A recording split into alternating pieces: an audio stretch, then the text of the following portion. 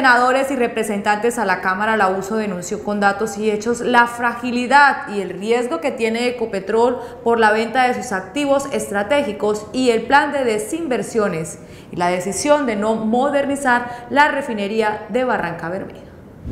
La crisis de Ecopetrol y el plan para su defensa fueron los temas principales del desayuno de trabajo organizado por la USO y que contó con la presencia de senadores de la República y representantes a la Cámara. Este escenario se cumplió en el marco de la campaña liderada por la Organización Sindical y Justicia Tributaria Unidos por Ecopetrol, Defiende lo que es tuyo. Lo que viene ocurriendo con la decisión del Gobierno Nacional y del presidente de Ecopetrol de no modernizar la refinería de Barranca Bermeja, es necesario modernizarla porque se requiere garantizar el suministro interno de combustibles, de lo contrario el país se va a ver abocado a una importación masiva de combustibles.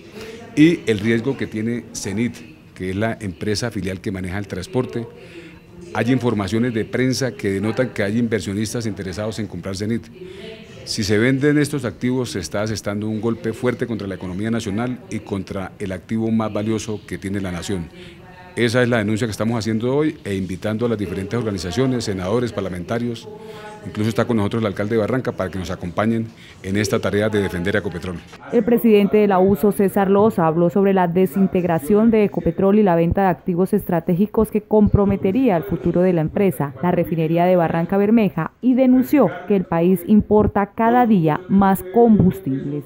Bueno, son los activos más importantes. El flujo de caja, las utilidades de Ecopetrol están soportadas en la refinación en estos momentos y en el transporte. CENIT, por ejemplo, generó 2.74 billones de pesos a Ecopetrol y nosotros le hemos dicho al presidente de la empresa, al ministro de Minas, que firmemos un acta donde se comprometen a no vender CENIT, sin embargo no han querido. Entonces eso pues deja un mal ambiente porque sabemos que hay pretensiones e intereses para deshacerse de CENIT. Además, Los Arenas ilustró con datos y hechos la fragilidad y el riesgo que tiene Ecopetrol por la venta de sus activos estratégicos y el plan de desinversiones tales como la venta de Propilco, riesgo de venta de CENIC y la decisión de no modernizar la refinería del puerto petrolero. Efectivamente, en Barranca Bermeja, en estos momentos, hay en varias, están en varias bodegas varios reactores, equipos que estaban destinados para el proyecto de modernización de la refinería de Barranca Bermeja. Esos equipos tienen un costo aproximado de 600 millones de dólares, más las inversiones que se han hecho en Barranca Bermeja, en la construcción de edificios, de casas, y un contrato que se hizo con Foster Wheeler, eso suma aproximadamente 900 millones de dólares. Es decir, hay inversiones dirigidas al proyecto de modernización de la refinería de Barranca Bermeja. Por eso consideramos que este megaproyecto no se puede archivar, hay que reactivarlo y modernizar la refinería de Barranca. Por su parte, el alcalde de Barranca Bermeja, Darío Echeverry Serrano, quien también estuvo presente en el evento que se desarrolló en la ciudad de Bogotá, se refirió a la importancia que tiene poder contar con el respaldo de toda la clase política del país para sacar adelante la modernización de la refinería, proyecto declarado por el gobierno del presidente Santos como de interés nacional. Un compromiso de apoyo decidido a la gran movilización que vamos a tener a cabo en nuestra ciudad Barranca Bermeja este 17 de mayo. Defender la modernización de la refinería Barranca Bermeja es defender la soberanía, el abastecimiento de combustible para todo el interior del país. Defender la modernización de la refinería es evitar que Ecopetrol y el gobierno nacional chatarricen el mayor complejo de refinación y petroquímica que tiene el país. Por eso debe ser una lucha nacional, una lucha de todos para respaldar precisamente que y exigirle a Ecopetrol y al gobierno nacional que se modernice cuanto antes nuestra refinería. En este encuentro y luego de las intervenciones de los congresistas, se pudo concluir un plan de acción con el concurso de los asistentes en diferentes instancias y el compromiso de participar el próximo 17 de mayo en la movilización por la defensa y ejecución del PMRB que se desarrollará en Barranca Bermeja. Bueno, esa modernización debe haber arrancado hace tres años, sin embargo la decisión de la presidencia de Ecopetrol y de la Junta Directiva, por supuesto avalada por el Gobierno Nacional, fue suspenderla. Y nosotros estamos diciendo con datos muy concretos que el país el año pasado se gastó 11.5 billones de pesos en importación de combustibles.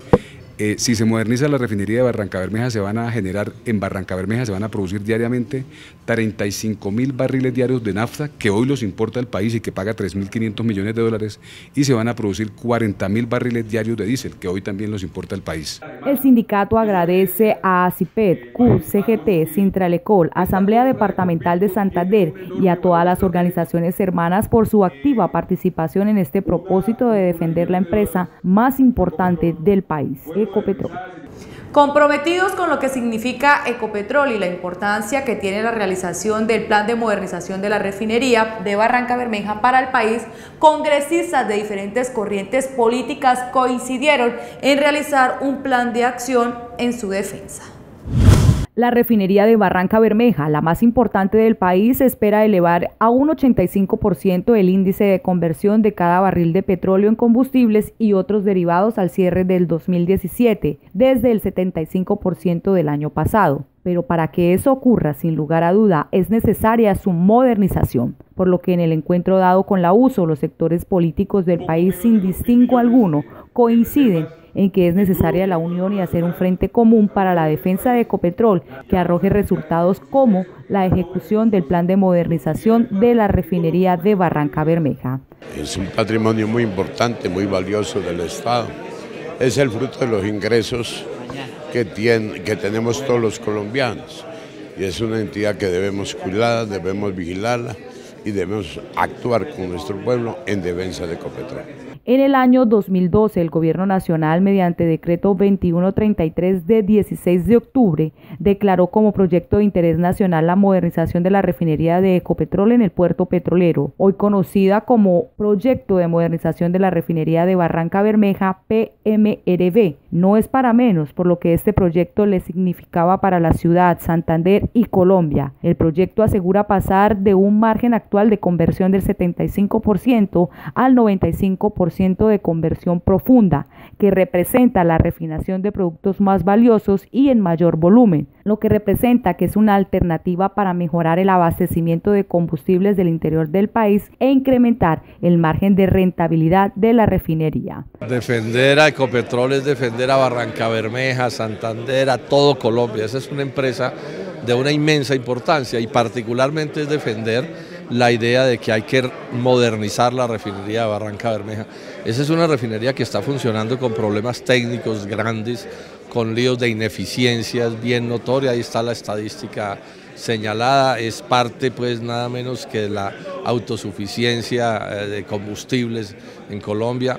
Para la gente de Barranca Bermeja sí que es importante, es el empleo, es el movimiento económico, es eh, el desarrollo de tantas empresas que de una u otra manera tienen que ver con, la refinería. Entonces esa es una lucha que hoy aquí todos nos comprometimos a seguir dando y la vamos a seguir dando y vamos a estar el 17, el 17 de mayo con el alcalde y con todas las fuerzas vivas y la uso en Barranca Bermeja acompañando ese reclamo de que el gobierno atienda la modernización de la, de la refinería.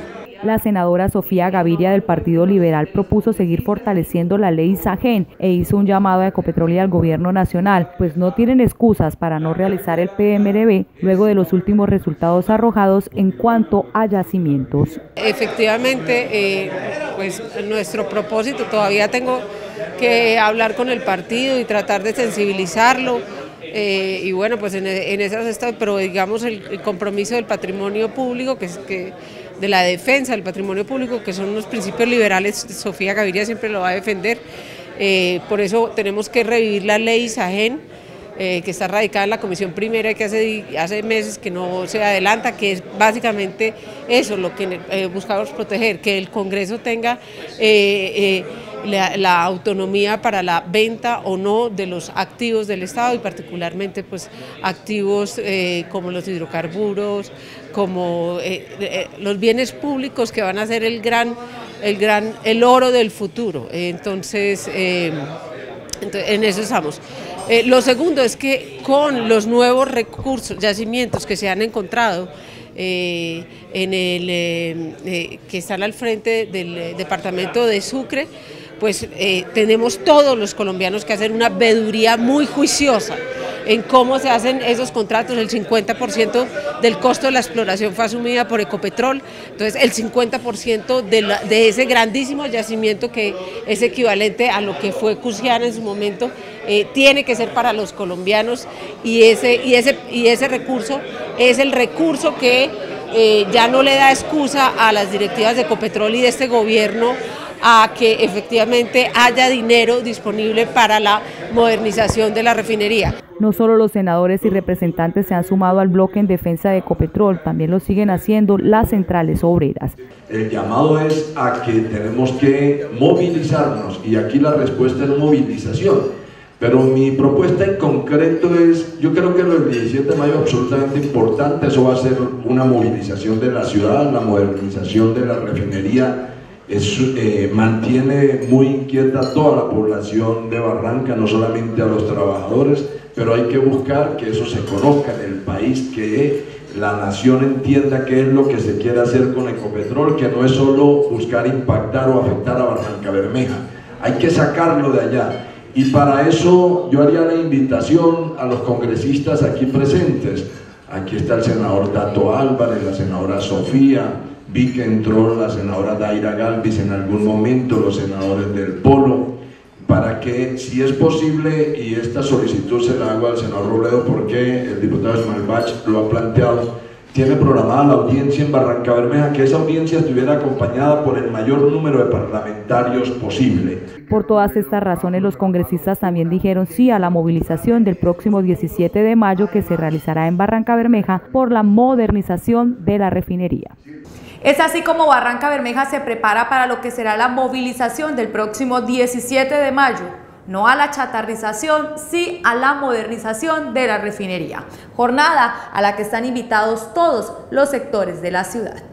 La uso como integrante del Comité Cívico por la Modernización de la Refinería de Barranca Bermeja convoca a toda la comunidad del puerto petrolero y el Magdalena Medio a que se sumen a la movilización de este 17 de mayo sin reparo alguno y con un solo objetivo, exigir la modernización de la refinería al gobierno nacional.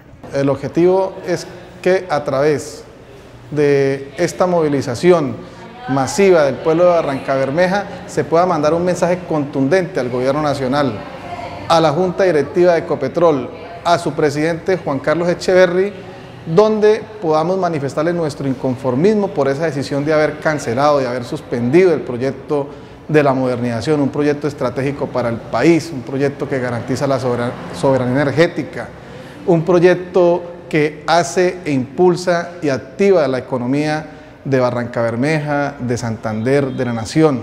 Un proyecto que garantiza solucionar y paliar la crisis social y económica por la que atraviesa Barranca Bermeja. Un proyecto que puede garantizar recursos importantes para poder buscar, para poder implementar diferentes economías como la agroindustria, como el turismo.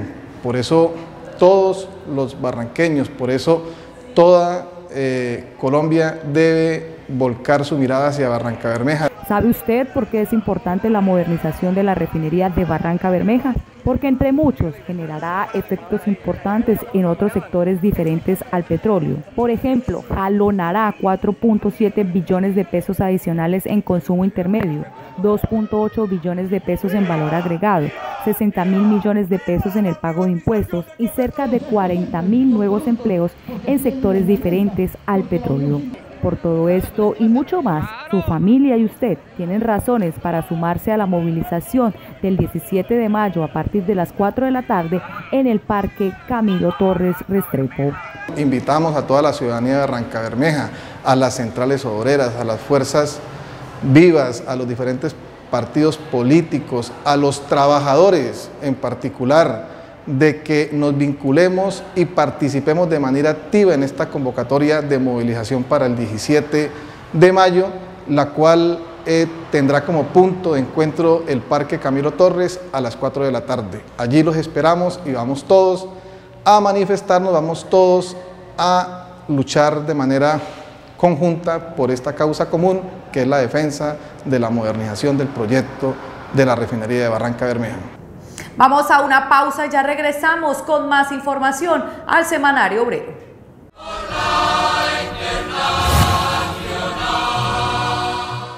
El Comité Cívico por la No Chatarrización de la Refinería de Barranca Bermeja convoca a la movilización cívico-popular este miércoles 17 de mayo a las 4 de la tarde en el Parque Camilo Torres Restrepo. No a la chatarrización de la refinería, sí a la modernización. Una convención colectiva establece y cuida las relaciones de trabajo en una empresa.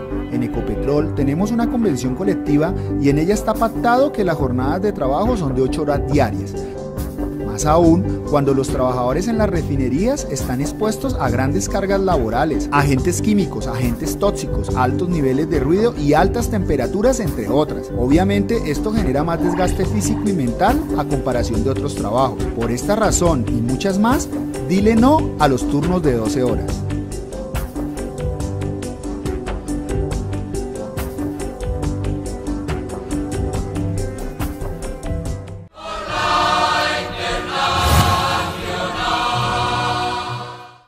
El senador Alexander López califica como un miserable al presidente Santos al objetar la ley de madres comunitarias del ICBF aprobada por el Congreso. Asimismo se refiere sobre el tema pensional. Es por eso que hoy nos acompaña en nuestra entrevista del día.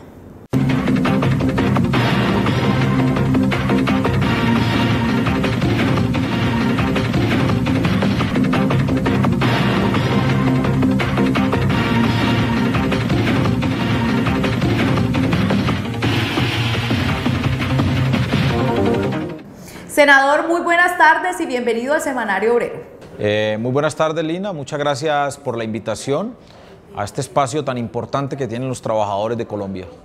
Senador, ¿cuál es esa noticia para todas las madres comunitarias en el país que esperan después de más de 20 años por fin lograr una pensión? Bueno, yo creo que esta lucha con las madres comunitarias es una lucha que tiene tres ejes fundamentales.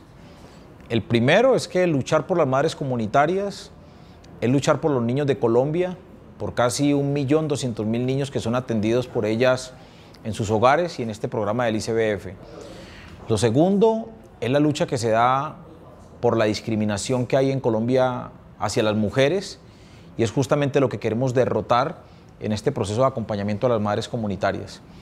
Y lo tercero es la lucha por los derechos de los trabajadores en Colombia, que son tercerizados y que son explotados laboralmente.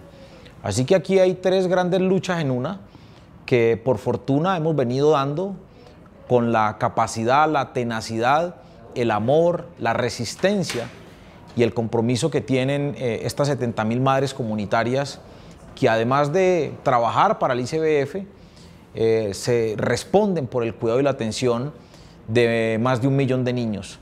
Yo creo pues que esta lucha que han librado las madres comunitarias es una lucha de admirar, de acompañar, de proteger, pero es una lucha que se está dando por todo el movimiento sindical y por todas las mujeres del mundo inclusive.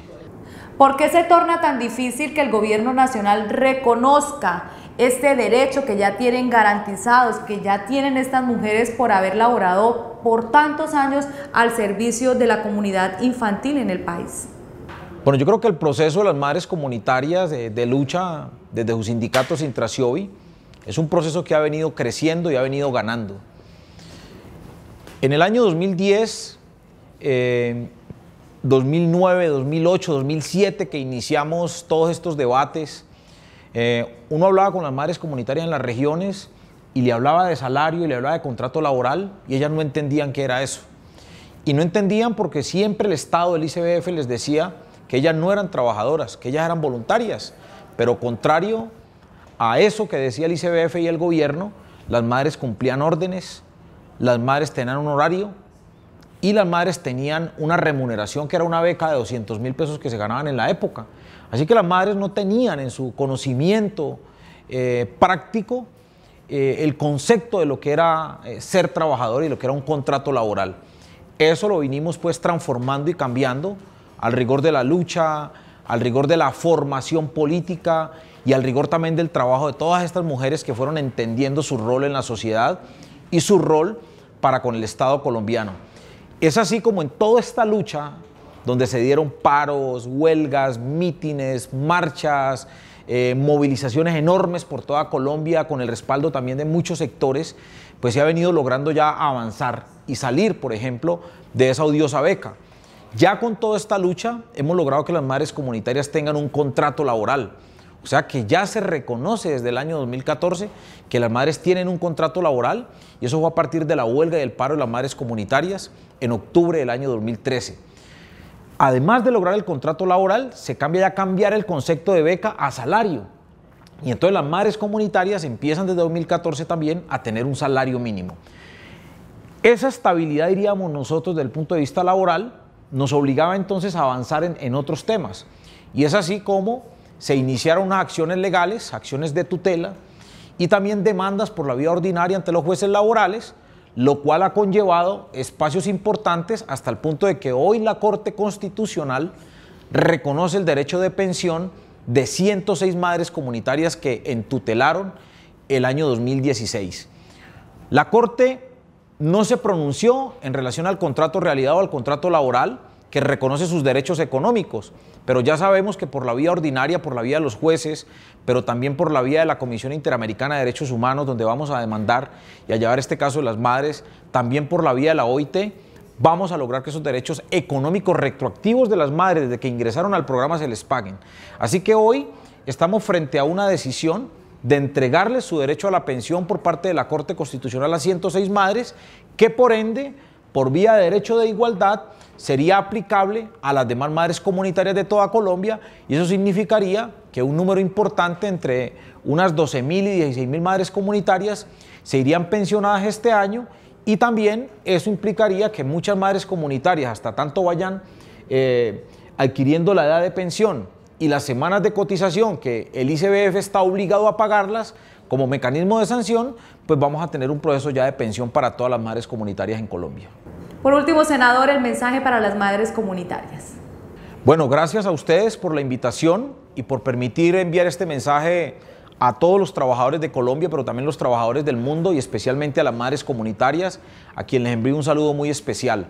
El ejemplo que han dado las madres comunitarias en su lucha y en su compromiso por los derechos de las mujeres y de los niños es, mejor dicho, indescriptible. Un aplauso para las madres comunitarias que siguen luchando por sus derechos, que siguen luchando por los niños. Y este es un triunfo no de las mujeres madres comunitarias, sino de todas las mujeres de Colombia y del mundo. Muchas gracias a ustedes. Senador, muchas gracias por haber estado en nuestra entrevista del día en el Semanario Obrero. Pausa y ya regresamos.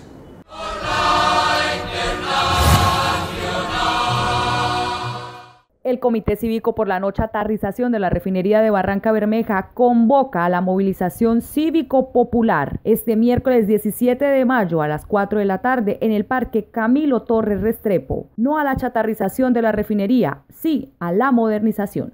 Una convención colectiva establece y cuida las relaciones de trabajo en una empresa. En Ecopetrol tenemos una convención colectiva y en ella está pactado que las jornadas de trabajo son de 8 horas diarias más aún cuando los trabajadores en las refinerías están expuestos a grandes cargas laborales, agentes químicos, agentes tóxicos, altos niveles de ruido y altas temperaturas, entre otras. Obviamente esto genera más desgaste físico y mental a comparación de otros trabajos. Por esta razón y muchas más, dile no a los turnos de 12 horas.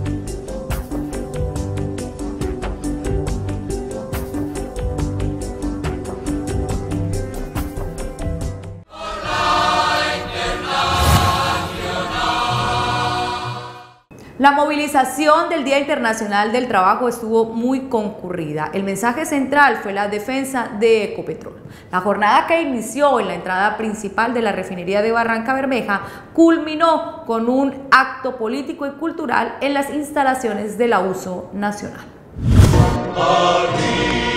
Los pobres del mundo, esclavos y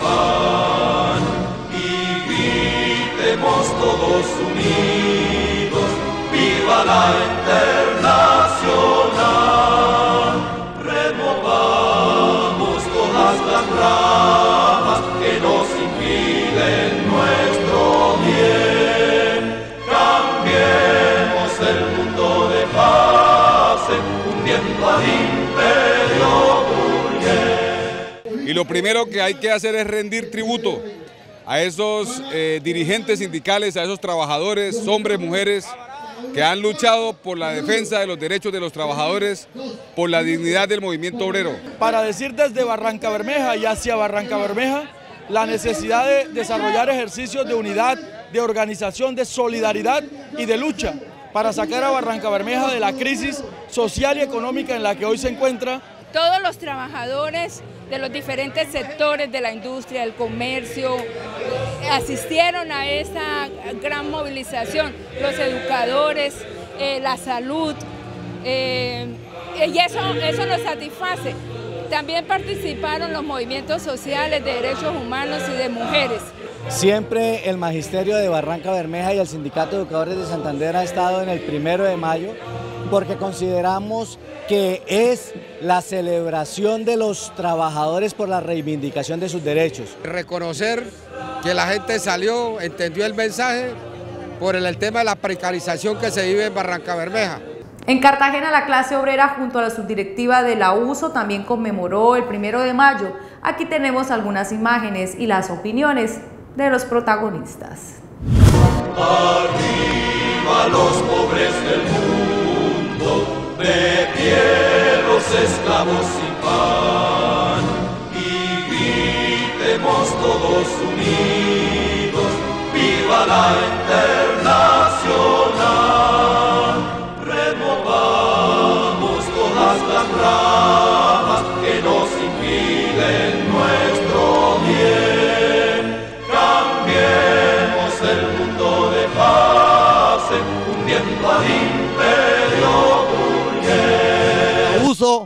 consecuente con la realidad política que vive hoy Colombia, estamos festejando esta fiesta de los obreros. Este día, primero de mayo internacional, primero de mayo unitario, combativo, en honor a aquellos mártires de Chicago que dieron su vida por esta gran conquista que conocemos como los 3-8, 8 horas de trabajo, 8 horas de descanso y 8 horas de declaración o cultura. En este día conmemoramos en el año de 1886 los mártires de Chicago defendieron a la clase obrera, a la clase trabajadora. Es decir, nos han dejado este legado para que nosotros los trabajadores siempre recordemos este día de que la lucha continúa contra un gobierno politiquero, un gobierno neoliberal que siempre golpea la clase trabajadora. Por eso en este día estamos marchando para demostrarle a los gobiernos que aquí todavía defendemos la clase obrera.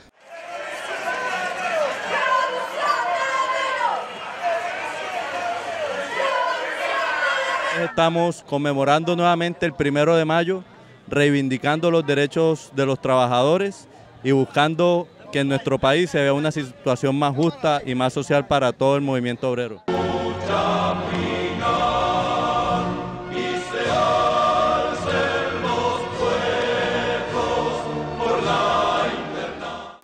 Nos solidarizamos con el sentimiento del pueblo, con las 20 víctimas del edificio colapsado en Blas de Lezo, un pueblo hoy que exige justicia, que exige que la autoridad a la cabeza del señor Manolo le responda a esta familia, a estas víctimas, porque hay seis muchachos también que están en cuidados intensivos. Esperamos que estas manifestaciones eh, le hagan entender al sistema que los obreros merecemos condiciones dignas de trabajo, merecemos salarios dignos para nuestra familia y que también se respeten los derechos laborales conseguidos a través de la lucha y de la sangre de muchos obreros. Y con la conmemoración del Día Internacional del Trabajo llegamos al final de nuestro programa. Si quiere conocer más de la actualidad sindical, visítenos en la página web www.usofrenteobrero.org. Recuerde la invitación este 17 de mayo a movilizarnos por la defensa de la refinería de Barranca Bermeja. No a la chatarrización y sí a la modernización. Nos vemos en la próxima emisión del Semanario Obrero, el informativo de la clase obrera. Amen.